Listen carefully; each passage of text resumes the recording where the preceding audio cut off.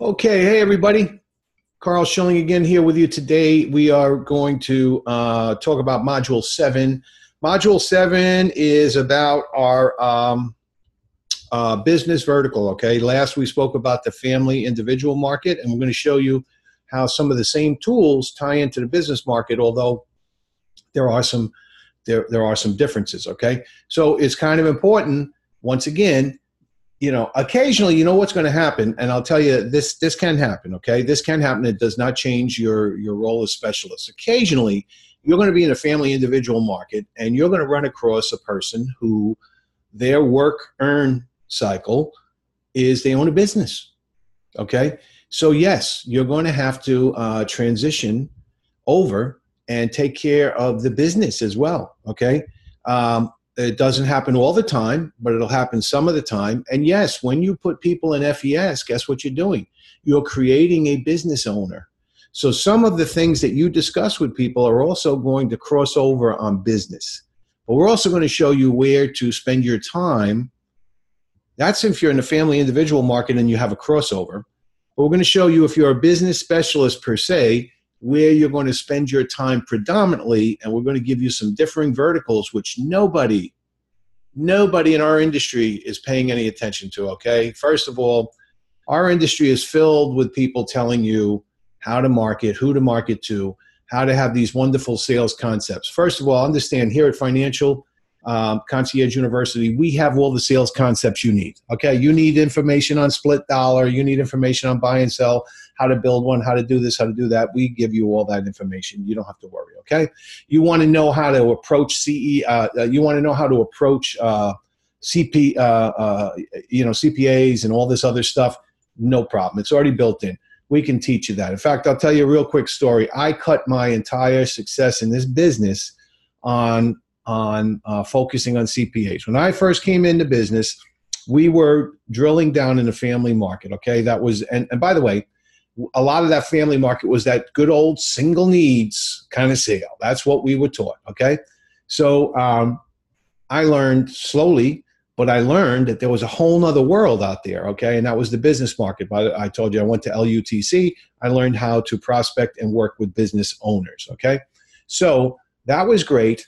And then uh, from there, we were all taught at that point, everybody was chasing doctors everybody had some kind of unique way to get into doctors. One one program I worked in briefly with a with a wonderful guy. He had a specialized program to reach out to residents.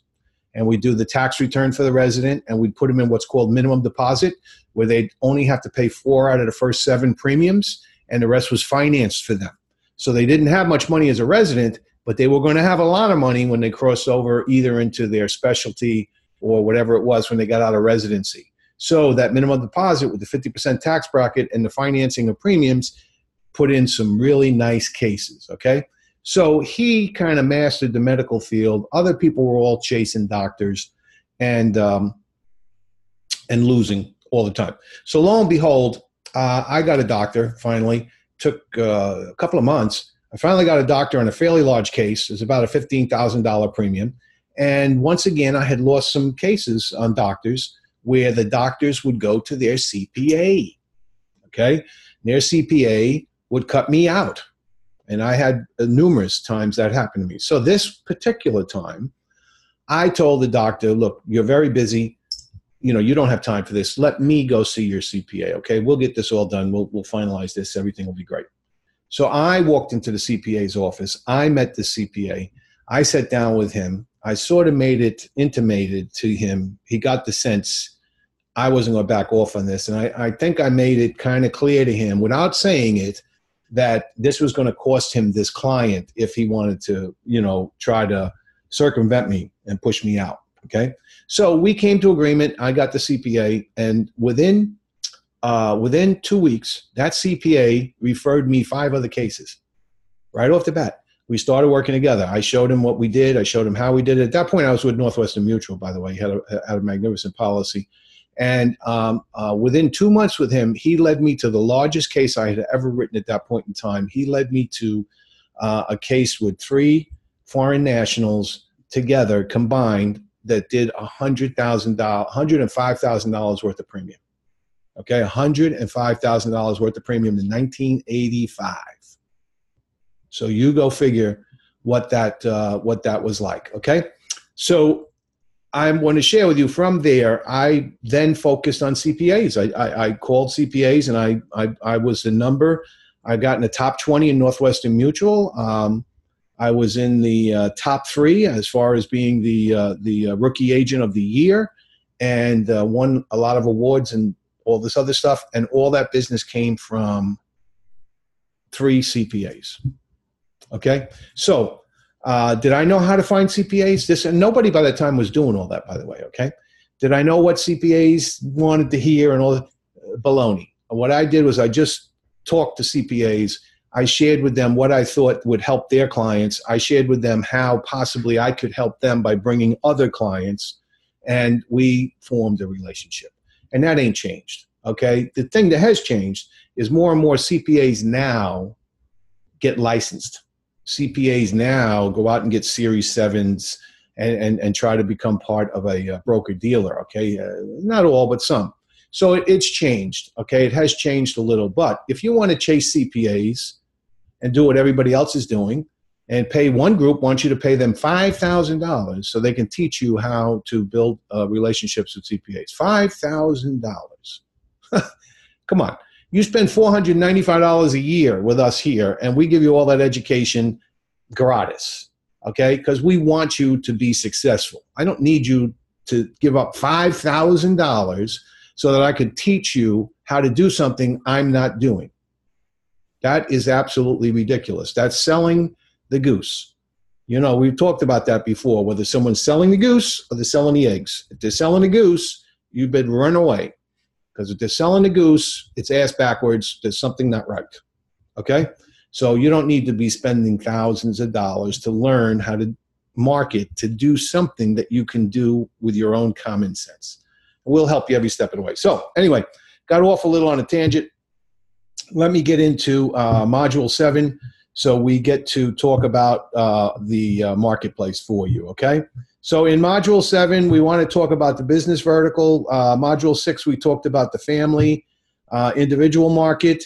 Um, let's go through. Let's get to module um, module three, uh, module four. By the way, uh, in your uh, in your um, teachable, you have all the, you have this uh, this um, powerpoints that are that are there constantly, right? Okay, it's it's it's with every lesson. The PowerPoint is attached. Okay. So uh, here we go. Module seven, you want to become a business specialist. Okay. Now, remember, some of this is crossover from the individual family market because occasionally you're going to sit in front of a business owner and their individual family side. Okay. Um, and it's the same for those of you who go after the business. You cross over the other way because they also have a family individual side. Okay. So let's look at the business specialty, and I'm going to give you three verticals inside this vertical that nobody in our industry focuses on. And this is worth, this here, if anything was worth $5,000, this would be it, folks. Okay? This would be the magical $5,000 thing you'd pay for. Okay? All right, the three verticals in this vertical are business brokers, commercial realtors, and public company officers. Okay.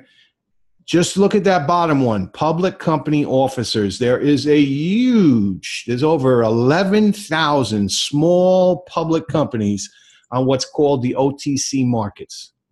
11,000. Each of them has probably three to four executives in their deal there. So there's about uh, 44,000 of these kind of offices. Now, these are small public companies. You know, if we go to the bigger ones, harder to get into.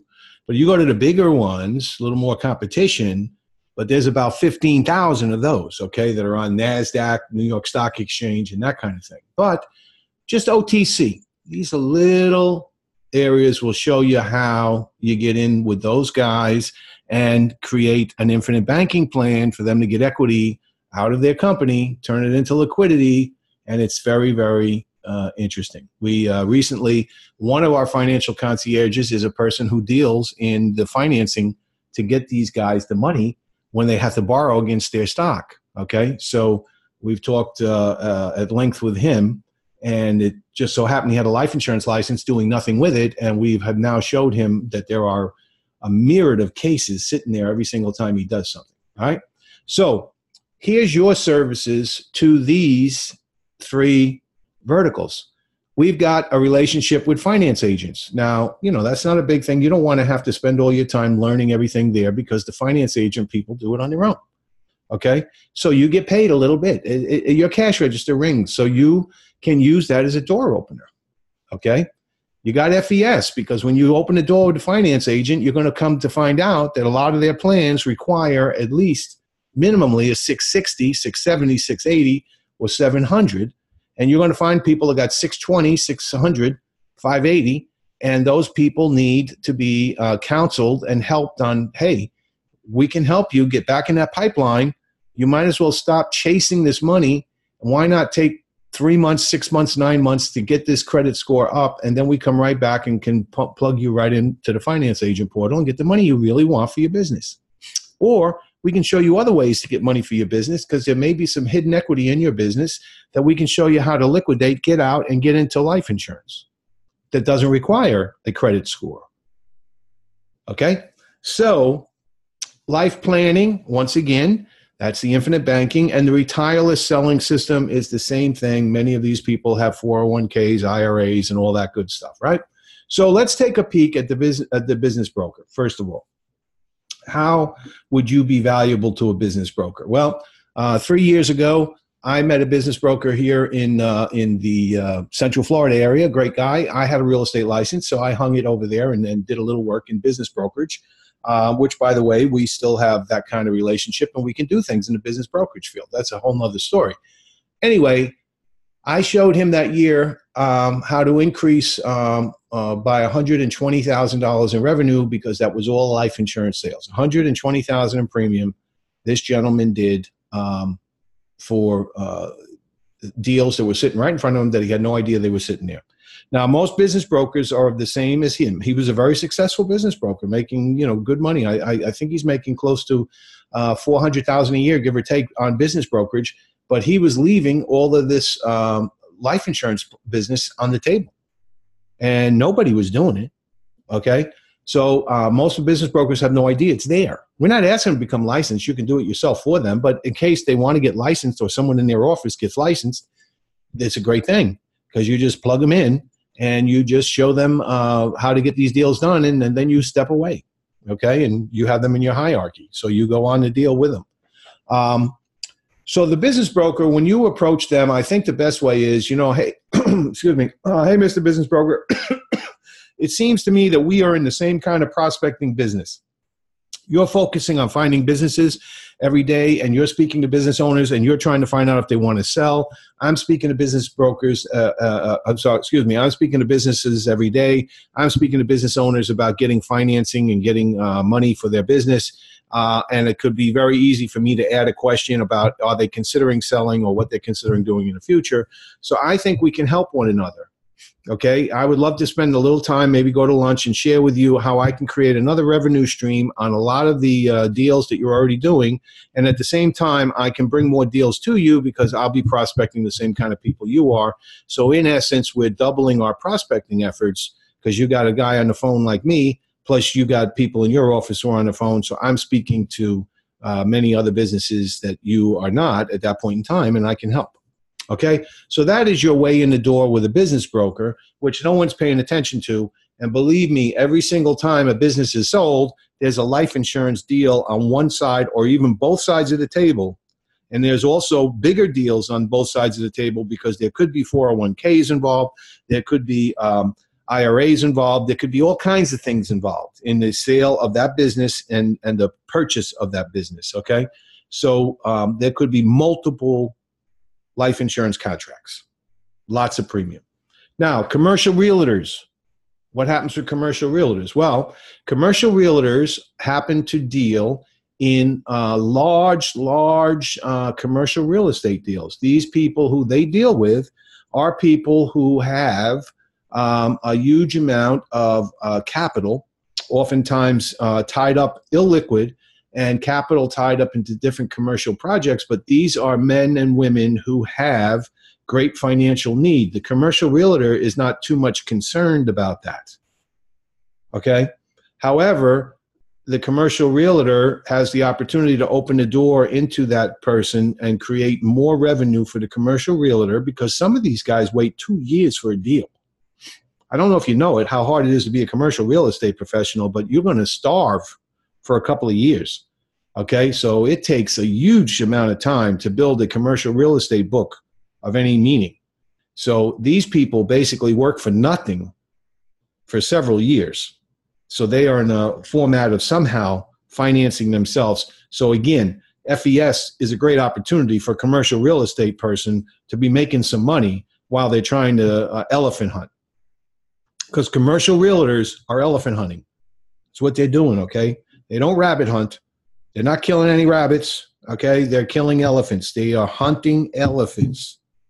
So uh, it's a tough life. So again, you have things you can offer to a commercial realtor and you have ways. Now don't go in there and try to get them to just open their book of business for you because that's not that's not helpful.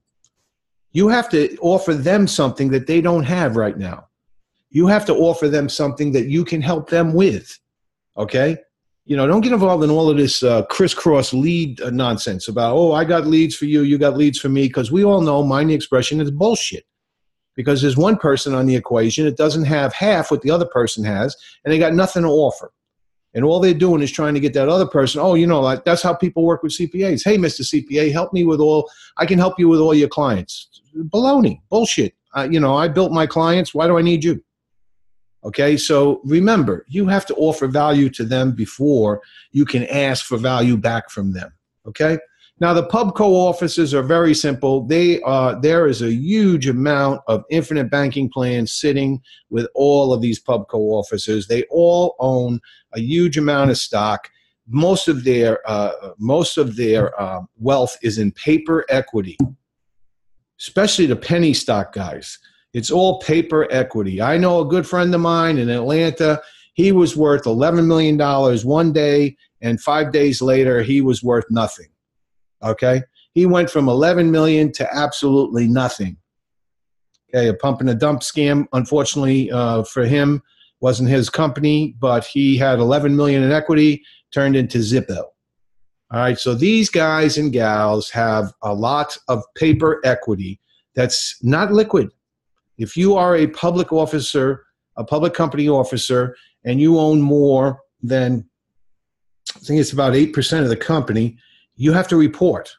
And that reporting is a is a legal filing every single year where you report how much of the company you own. Okay? Now, if you sell any of that stock across the board or any transaction like that, selling it, it will show up in the report. And people don't like to see public officers sell shares in their own company.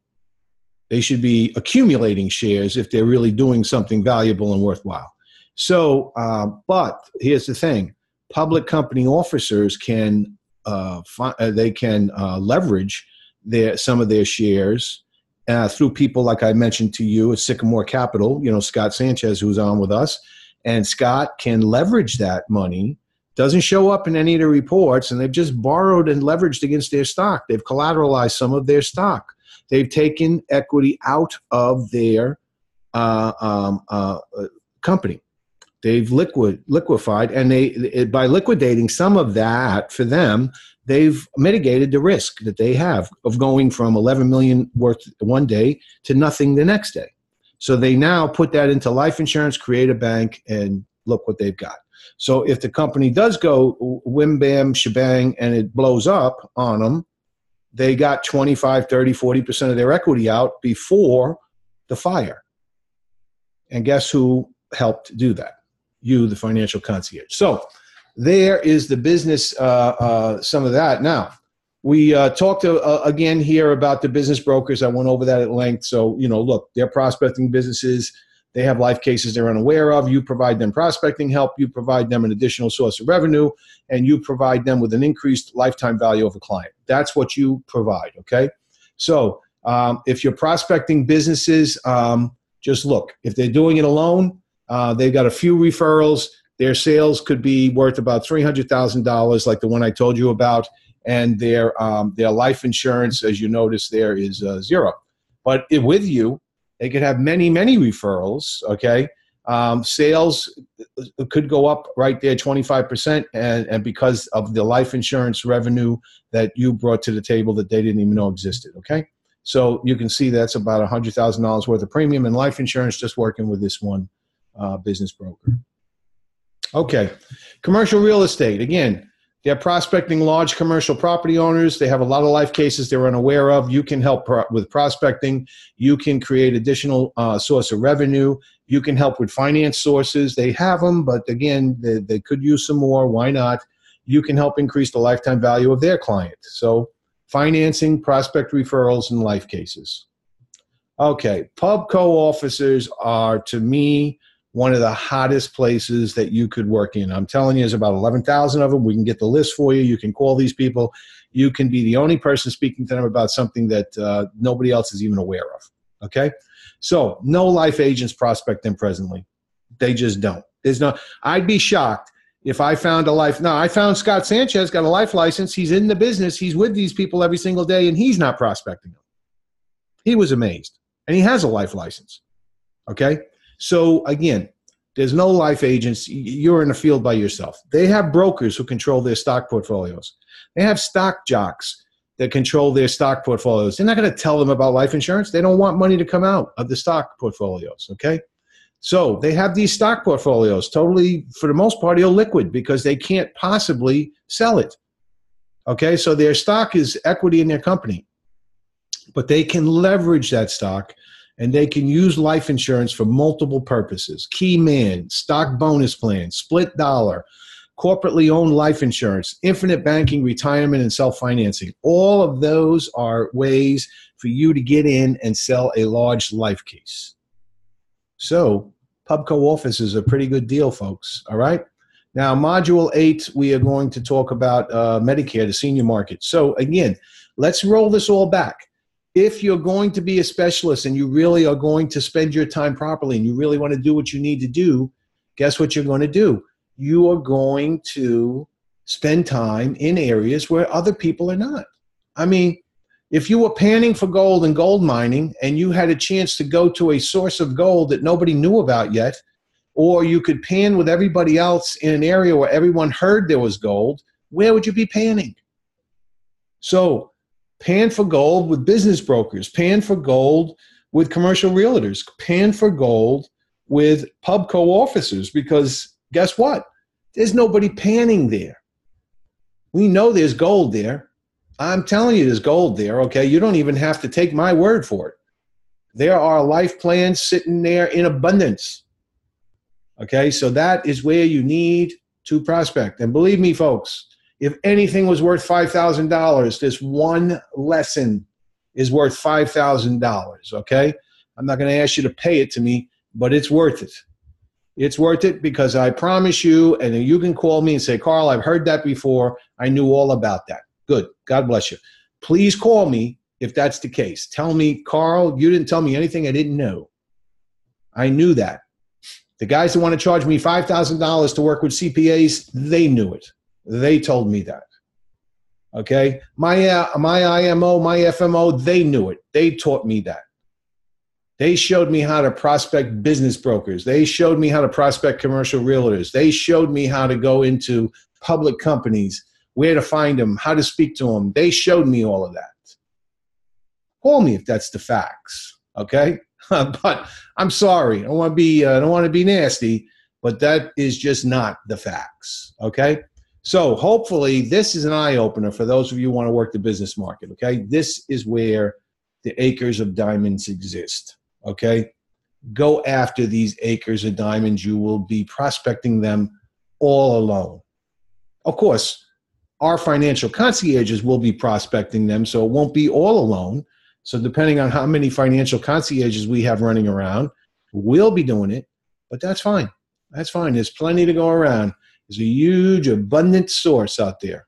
Uh, you know, you can look it up yourself. Google how many business brokers there are in the United States, how many commercial realtors exist. Okay, do a little research and Google the Pubco companies. All right, I'll get you the list. You call me and say, Karl, I want that list. I'll get you the list. Now you have to do a little work. I'll show you how to find the numbers and how to call them. I'll give you a script. I'll show you what to say to them. Okay. But uh, believe me, there's as we as we count today, there's 11,000 of them. That doesn't include, by the way, the uh, Canadian uh, over-the-counter markets because you can speak to Canadians. By the way, you do know you can sell a foreign national. Okay, so you know you can have uh, Canadian business.